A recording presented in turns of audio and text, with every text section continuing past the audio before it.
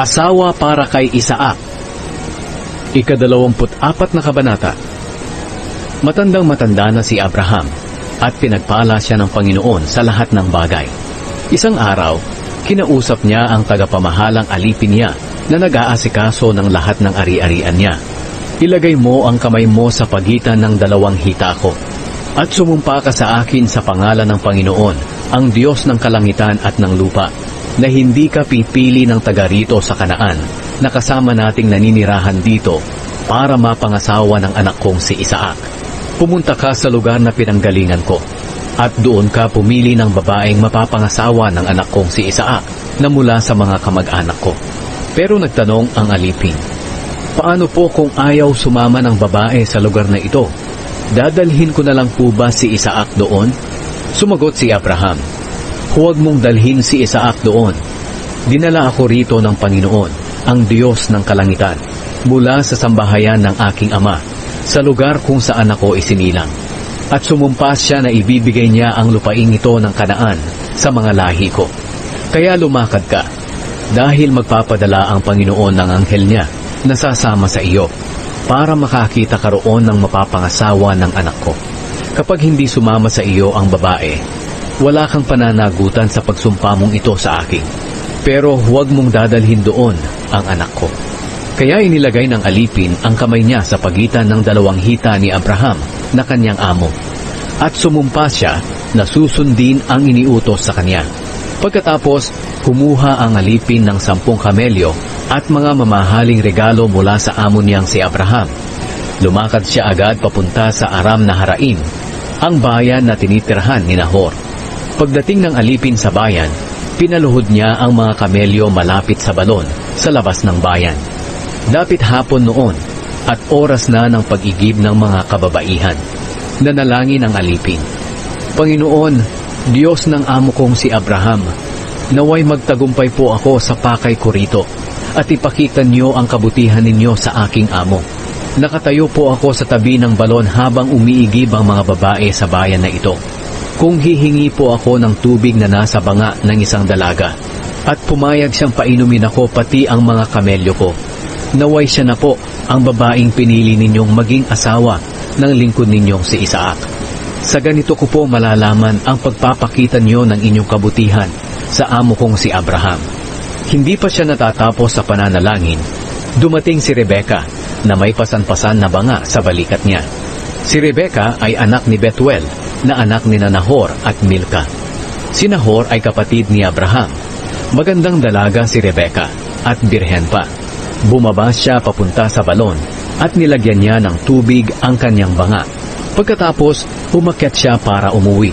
Nagmamadali ang alipin sa pagsalubong sa kanya at sinabi, Pwede mo ba akong painumin sa banga mo kahit kaunti lang? Sumagot si Rebecca, Sige, ginoo. Uminom ka. Mula sa balikat niya, ibinaba niya agad ang banga at hinawakan ito habang umiinom ang alipin. Pagkatapos niyang painumin ang alipin, sinabi niya, Iigib naman ako para sa mga kamelyo mo hanggang sa makainom silang lahat. Dali-dali niyang ibinuhos ang tubig sa inuman ng mga hayop at bumalik siya sa balon para muling umigib. At patuloy siya sa pag-igib hanggang sa makainom ang lahat ng kamelyo. Habang nakamasid ang alipin kay Rebecca, iniisip niya kung iyon na ang sagot ng Panginoon sa panalangin niya sa pagpunta niya sa lugar na iyon. Pagkatapos uminom ng mga kamelyo, inilabas ng alipin ang dala niyang gintong singsing na ang bigat ay anim na gramo. Inilabas din niya ang dalawang pulseras na ginto na ang bigat ay mga isang daan at dalawampung gramo. At ibinigay niya ito kay Rebecca. Pagkatapos nagtanong siya kay Rebecca, Kanino kang anak? May lugar pa ba sa inyo na maaari naming matulugan ngayong gabi? Sumagot si Rebecca, Anak ako ni Betuel na anak na lalaki ni Nanahor at Milka. May matutulugan kayo roon sa amin. At marami ring dayami at pagkain para sa mga kamelyo ninyo. Yumukod agad ang alipin at sumamba sa Diyos. Sinabi niya, Purihin ang Panginoon, ang Diyos ng aking amo na si Abraham. Ipinakita niya ang kanyang kabutihan sa aking amo. Ako mismo ay ginabayan niya sa pagpunta ko sa mga kamag-anak ng aking amo. Patakbong umuwi si Rebecca sa bahay ng kanyang ina at sinabi niya sa kanila ang lahat ng nangyari. Ang kapatid niyang si Laban ay naroon din na nakikinig sa sinasabi niya tungkol sa binanggit ng tao sa kanya. Nakita ni Laban ang singsing at pulseras na suot-suot ni Rebecca. Kaya tumakbo siya papunta sa balon at pumunta sa taong sinasabi ni Rebecca. Naroon pa rin ang lalaki na nakatayo malapit sa balon sa tabi ng mga kamelyo. Sinabi ni Laban sa kanya, Ikaw pala ang taong pinagpala ng Panginoon. Bakit pa kayo nakatayo lang diyan? Halika sa bahay, dahil inihanda ko na ang silid para sa iyo at ang lugar para sa mga kamelyo mo. Sumama ang alipin kay Laban. Pagdating nila sa bahay, ibinaba ni Laban ang mga karga ng mga kamelyo at binigyan niya agad ang mga kamelyo ng dayami at pagkain. Dinalhan din niya ng tubig ang alipin at ang mga kasama nito para makapaghugas sila ng paa. Nang mabigyan na sila ng pagkain, sinabi ng alipin, Hindi ako kakain hanggat hindi ko pa nasasabi ang pakay ko sa pagpunta ko rito. Sumagot si Laban, Sige, sabihin mo sa amin. Sinabi niya, Alipin ako ni Abraham. Pinagpala ng Panginoon ang aking amo at napakayaman na niya ngayon. Binigyan siya ng Panginoon ng maraming tupa, kambing, baka, kamelyo, asno, pilak, ginto, at mga aliping lalaki at babae. Kahit matanda na ang asawa niyang si Sarah, nagkaanak pa rin siya. At ang anak nilang lalaki ang siyang magmamana ng lahat ng ari-arian niya. Pinasumpa ako ng aking amo para tuparin ko ang kanyang utos. Sinabi niya, huwag kang pipili ng mapapangasawa ng anak ko rito sa mga taga-kanaan, na ang lupain ay ang tinitirhan natin ngayon. Pumunta ka sa tahanan ng aking ama, at doon ka pumili ng mapapangasawa ng anak ko mula sa aking mga kamag-anak. Pero nagtanong ako, paano po kung hindi sumama ang babae sa akin? Sumagot siya, ang Panginoon na sinusunod ko ay magpapadala ng anghel niya para samahan ka na mamagitan sa anak ko. Makakakita ka ng mapapangasawa ng anak ko mula sa aking mga kamag-anak sa sambahayan ng aking ama. Kung doon ka pupunta sa mga kamag-anak ko, hindi darating sa iyo ang kasamaang sinasabi ko na mangyayari kung hindi mo tutuparin ang ating sumpaan kahit hindi nila pasamahin ang babae sa iyo. Kaya pagdating ko kanina sa balon, nanalangin ako. Sinabi ko, Panginoon, Diyos ng aking amo na si Abraham, naway magtagumpay po ako sa pakay ko rito, at ipakita niyo po ang inyong kabutihan sa aking amo. Ngayon po nakatayo ako rito sa tabi ng balon. Kung may darating po na dalagang iigib ng tubig, hihingi ako ng kaunting tubig sa kanyang banga. Kung papayag po siya na painumin ako pati ang mga kamelyo ko, naway siya na po ang babaeng pinili niyo na maging asawa ng anak ng aking amo. Hindi pa nga ako natatapos sa aking pananalangin. Dumating si Rebecca na may pasan-pasan na banga sa kanyang balikat. Bumaba siya papunta sa balon at umigib. Sinabi ko sa kanya, pwede mo ba akong painumin? Ibinaba niya agad ang banga mula sa kanyang balikat at sinabi, Sige, uminom ka at paiinumin ko rin ang mga kamelyo mo. Kaya uminom ako at pinainom din niya ang mga kamelyo ko. Pagkatapos tinanong ko siya kung kanino siyang anak. Sumagot siya, kay Betuel na anak na lalaki ni Nahor at Milka. At nilagyan ko ng singsing ang ilong niya at sinuotan ng mga pulseras ang kanyang braso. Yumukod ako agad at sumamba sa Panginoon. Nagpuri ako sa Panginoon ang Diyos ng amo kong si Abraham.